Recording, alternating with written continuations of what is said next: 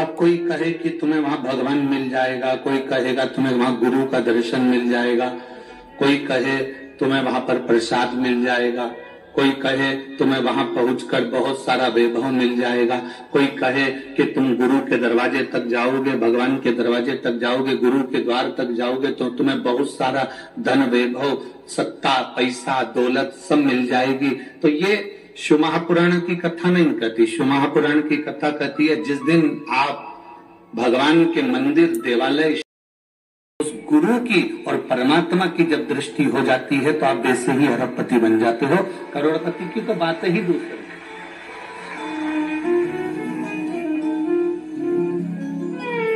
आप उसकी शरणागति के करीब में पहुँचे।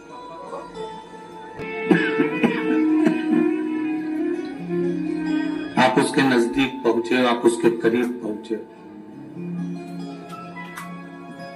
दादाजी की गोद में बैठता है तो उसकी जेब का पेन लेके उठता है।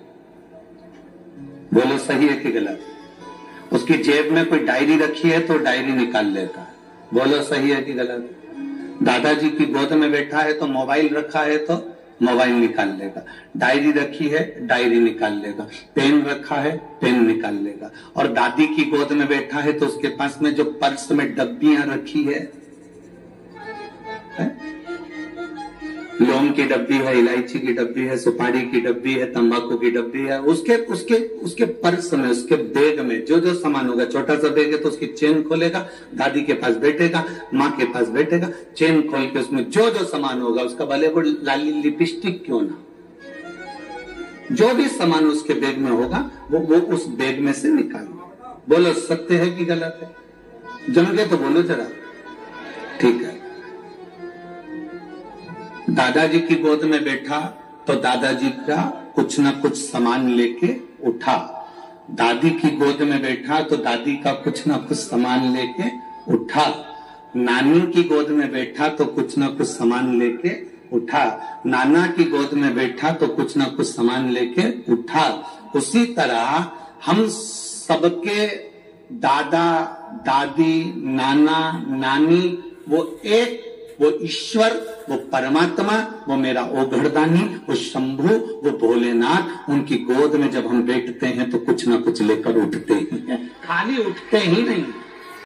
है, किसी को आप प्यासे को पानी पिला रहे हैं, भूखे को भोजन करा रहे हैं, वो सेवा यदि आपको मिली है, उसका फल मिलता एक बार गुरु नानक देव अपने शिष्य के साथ में जा रहे थे और उन्होंने जाते जाते एक बहुत अंधेरा सा होने लगा। गुरु नानक देव जी ने कहा, बाले, अब मुझे विश्राम करना है तो कोई स्थान देख ले, विश्राम करने का।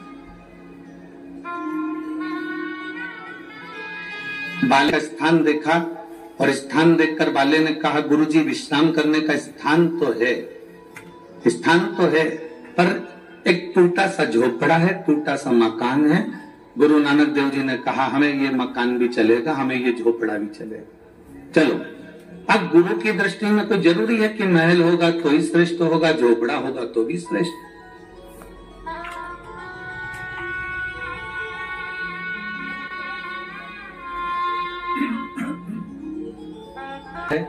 या छोटा झोपड़ा हो, उसमें ज़्यादा भजन होता है।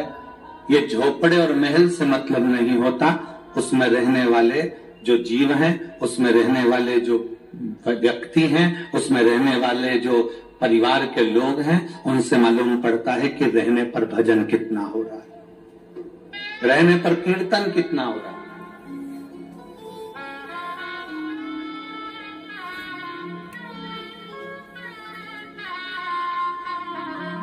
उसमें रहने वाला भगवान की अविरल भक्ति को कितना धारण कर रहा है।